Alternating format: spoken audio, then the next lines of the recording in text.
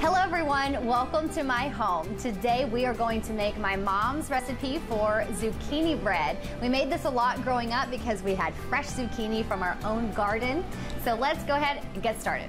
And we're gonna start with the dry ingredients. So we'll start with the flour, the baking soda, nutmeg, and our salt.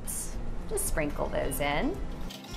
And just make sure that they're all mixed up good so that you have a nice consistent mixture.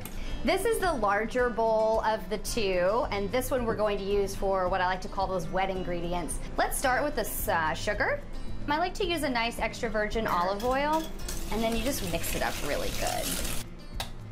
We have two eggs. So you just want to whisk them lightly here. We're going to add half of our flour mixture, then put in the zucchini. Just fold it in. I'm gonna throw in the rest of the flour.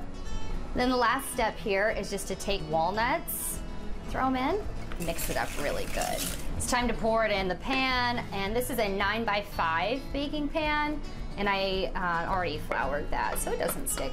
We have our oven preheated at 350. We'll leave it in there about 50 minutes. As it starts to golden brown on the top, that's about when you want to take it out. This is the final product. I usually just take a knife and slice it so that it's in little bars. And uh, it's a really nice snack to have around the house. I hope that you enjoy this recipe as much as I do.